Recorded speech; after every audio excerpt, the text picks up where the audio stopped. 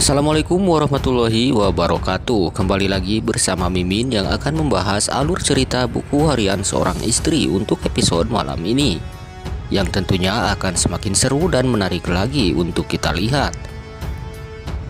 Episode kali ini Pajar mendatangi rumah sakit untuk melihat keadaan Tante Merlin yang sudah mengalami kecelakaan mobil.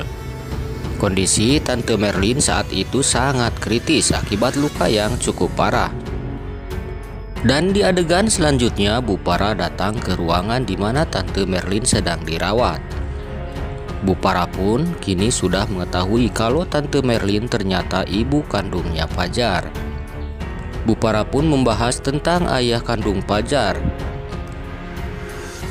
Yang Pajar sendiri sama sekali belum mengetahuinya. Bupara pun akhirnya mengatakan kepada Pajar tentang siapa ayah kandung Pajar yang sebenarnya. Dan di adegan selanjutnya Nana dan Dewa sedang dalam perjalanan. Namun tiba-tiba komplotan si Tony Bolotot yang tak ada kapok-kapoknya kembali berulah. Mereka pun menghadang motor Dewa saat itu. Dewa nampaknya sedang sangat terburu-buru.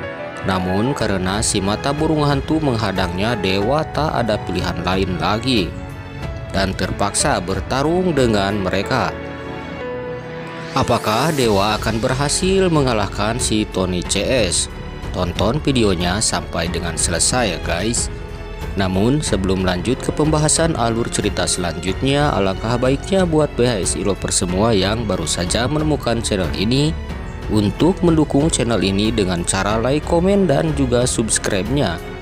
Serta nyalakan juga lonceng notifikasinya ya guys agar tidak ketinggalan video-video terbaru dari Mimin berikutnya. Terima kasih. Dan di adegan selanjutnya, Pajar terlihat sedang berdua dalam mobil bersama Lia. Saat itu, Pajar sepertinya sedang mengejar mobil pick up yang melaju di depannya. Aksi kejar-kejaran pun berlangsung cukup lama dan sangat menegangkan. Namun, saat itu Pajar tak bisa mengontrol kecepatan mobilnya sehingga sulit untuk mengendalikannya. Dan akhirnya mobil Pajar hilang kendali dan menabrak pohon. Apakah Pajar dan Lia akan selamat? Dan apakah penyebab Pajar dan Lia sehingga mengejar-ngejar mobil pickup tersebut? Apa yang akan terjadi selanjutnya? Apakah Nana Dewa bisa dapatkan bukti kejahatan si Sarap Kevin? Dan bagaimana sikap Pajar saat mengetahui dari Bupara tentang siapa ayah kandungnya. Tentunya ini akan membuat BHSI Roper semua penasaran. Untuk itu, saksikan terus kelanjutannya buku harian seorang istri episode malam ini pukul 21.20 waktu Indonesia Barat tentunya hanya di SCTP. Oke guys, mungkin hanya itu saja sinopsis buku harian seorang istri untuk episode malam ini di video Mimin kali ini.